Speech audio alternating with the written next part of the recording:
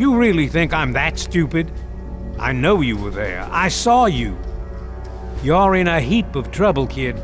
You're a traitor to the United States government. You know what happens to traitors, don't you?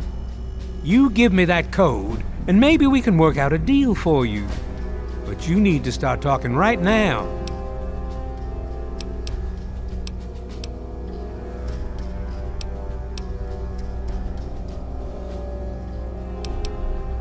I'll be honest.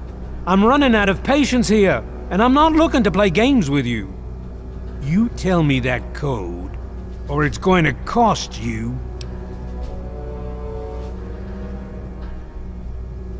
Why do you insist on provoking me? Tell me the code now. Colonel, I have need of you. Mr. President, I have no time for other matters. I'll be with you shortly.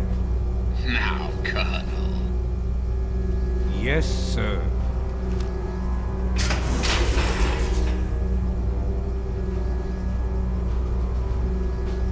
Ah, alone at last.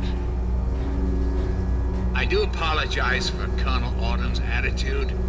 He's been under a great deal of stress lately.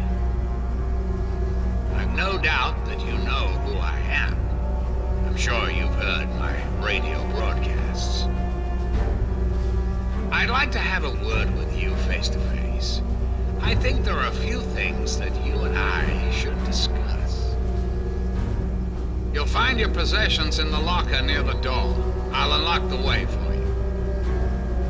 And I'll unlock your restraints as well. I'll be waiting for you in my office.